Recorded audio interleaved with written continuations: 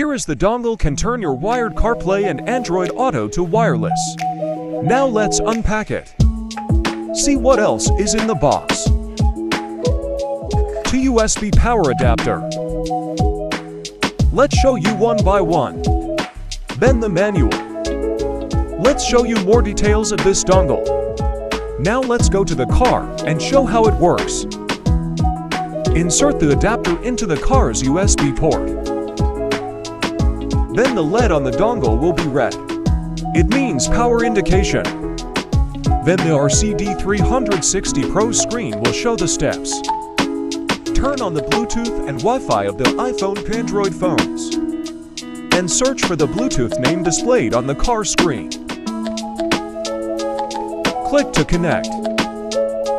Once the LED light turned green, it means successful connection. Now the wired CarPlay turned to a wireless CarPlay.